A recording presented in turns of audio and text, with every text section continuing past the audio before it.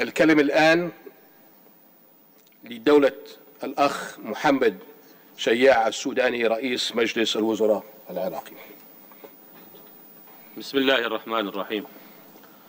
أصحاب الجلالة والفخامة والسمو والمعالي السلام عليكم ورحمة الله وبركاته. يسرني أن أعرب نيابة عن العراق وشعبه عن التقدير العالي للأشقاء والأصدقاء الذين تواجدوا هنا للمشاركة ضمن مؤتمر بغداد للتعاون والشراكة بنسخته الثانية. وأشكر أخي جلالة الملك عبد الله الثاني بن الحسين والمملكة الأردنية الهاشمية وحكومتها المضيافة وشعبها الشقيق على حسن الاستقبال وكرم الضيافة وجودة تنظيم هذا المؤتمر. نجتمع اليوم في عمان والأمل يحدونا بالمضي نحو تعزيز مسيرة العلاقات بين دولنا في مختلف المجالات وتطوير وتيرتها بالشكل الذي يسهم في تحقيق وإرساء قواعد الاستقرار والرخاء والتنمية في المنطقة. ويفتح المجال واسعا أمام سبل الحوار والنقاش لتبادل الآراء وتعميق المفاهيم.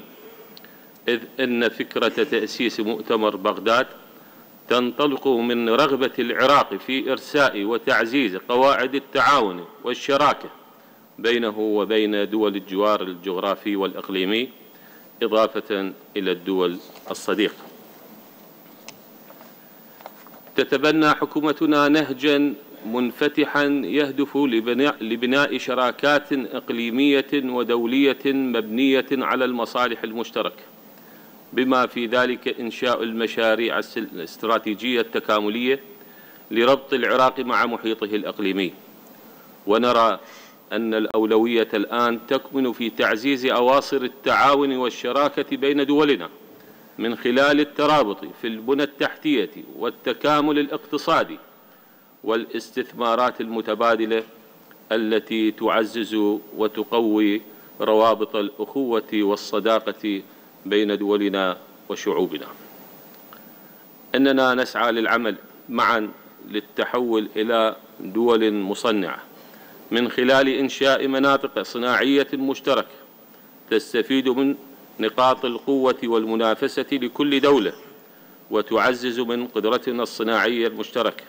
وتربط سلاسل القيمة المضافة لكل منا ضمن سلسلة متكاملة قادرة على المنافسة في الأسواق العالمية وإطلاق المشاريع العملاقة في شتى القطاعات كالنفط والغاز والزراعة والصحة والتعليم والسياحة.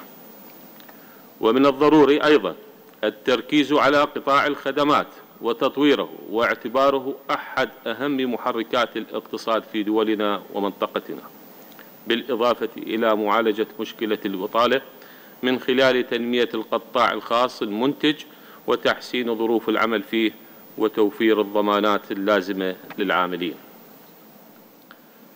وعلى الصعيد الداخلي فإننا وضعنا مكافحة الفساد المالي والإداري في صلب أولوياتنا وقد بدأنا عمليا حملة مكافحة الفساد بدءا من أعلى المستويات ونطلب من الدول الشقيقة والصديقة مساعدتنا في استرداد أموال العراق المنهوبة والمهربة وتسليم المطلوبين الذين يتخذون من هذه الدول محل إقامة لهم. وتعمل حكومتنا بجد على تحسين البيئة الاستثمارية في العراق. من حيث التشريعات والإجراءات والضمانات لتمكين المستثمرين من دخول أسواقنا والإفادة من الفرص الكبيرة فيها.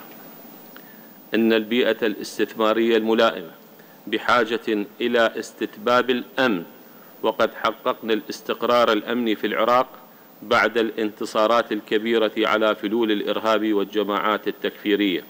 ولا يفوتني هنا أن أقف إجلالا للدماء الزكية والتضحيات التي بذلتها قواتنا المسلحة بصنوفها كافة دفاعا عن النفس والمنطقة والعالم. وأن أشكر كل من وقف معنا حتى تحقق نصرنا الكبير. ولا بد لنا جميعا من مواصلة العمل المشترك والتكاتف لمحاربة الفكر المتطرف بجميع أشكاله. ووضع آليات وبرامج حقيقية لفضح النوايا الخبيثة للإرهابيين الذين يجندون الشباب بأفكارهم الهدامة المدمرة لشعوبنا ودولنا ومنطقتنا والعالم أجمع فالإرهاب لا يقف عند حد. إخواني وأخواتي وأصدقائي إن العراق يواجه تهديدا وجوديا بسبب شح المياه وإننا عازمون على العمل الجاد مع جيراننا في الجمهورية التركية والجمهورية الإسلامية الإيرانية لضمان أمننا المائي والتوصل إلى أفضل السبل للإدارة المشتركة للموارد المائية العابرة للحدود ووصول حصتنا المائية وفق الاتفاقيات والقوانين الدولية وبما يساعد على دعم التعاون وتحقيق التنمية والاستقرار بالتوازي مع ذلك فإننا بدأنا بأخذ الخطوات العملية لتعزيز استخدام أنظمة الري الحديثة وإيقاف هدر المياه في الخزن والزراعة. أننا نعتبر التلوث البيئي في الهواء والمياه والتربة من أهم المخاطر على مستقبل شعبنا خصوصا في المناطق الجنوبية. وقد بدأنا العمل الجاد لمعالجة حرق الغاز المصاحب في الحقول النفطية وندعو الشركات العالمية للاستثمار في هذا المجال لأجل تحويل استخدام هذا المصدر المهم للطاقة لأغراض توليد الكهرباء سعيا نحو تحقيق الاكتفاء الذاتي في استعمال الغاز لتوليد الكهرباء على المدى المتوسط ولتقليل انبعاث الغازات الدفيئة والاحتباس الحراري.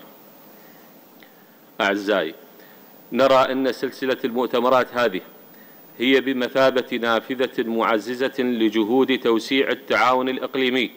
ومن هذا المنطلق ولرغبة العراق بالوصول إلى أقصى درجات التفاهم والتنسيق حول دعم عجلة التطوير والتنمية في المنطقة وإقامة أفضل الروابط والصلات مع دولها نؤكد أن العراق متمسك ببناء علاقات تعاون وثيقة ومتوازنة مع كل الشركاء الإقليميين والدوليين وينأى بنفسه عن اصطفافات المحاور وأجواء التصعيد وينشد سياسة التهدئة وخفض التوترات وفي ذات الوقت يرفض التدخل بشؤونه الداخلية ومس سيادته أو الاعتداء على أراضيه.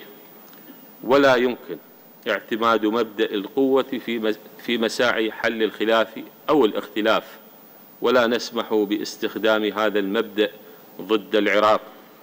بنفس الوقت لا نقبل أن ينطلق أي تهديد من العراق ضد أي دولة من دول الجوار أو المنطقة.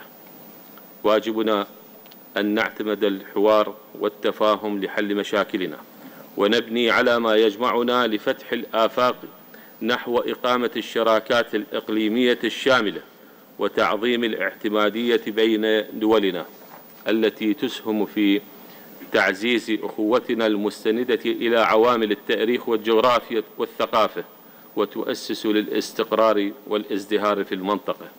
لذلك يسعى العراق لأن يكون راعيا للتواصل والتحاور كسبيل أساس لحل الخلافات ونشكر الحضور على دعمهم لجهود العراق في هذا المجال بهدف تهدئة الأجواء وتقريب وجهات النظر بين الفرقاء وعززت من جهوده الدبلوماسية في نزع فتيل الأزمات في المنطقة. ختاما نجدد التأكيد على الأهمية التي نوليها لمؤتمرنا هذا للخروج بالنتائج المرجوة التي تعزز الفرص والتطلعات نحو تعميق أواصر العمل الإقليمي والدولي المشترك وصولا إلى تحقيق الاستقرار والازدهار الاقتصادي والاجتماعي والتنموي في منطقتنا والمضي قدما بتنشيط آليات التعاون والشراكة بين دولنا وشعوبنا وتعميقها وتعزيزها. والسلام عليكم ورحمة الله وبركاته.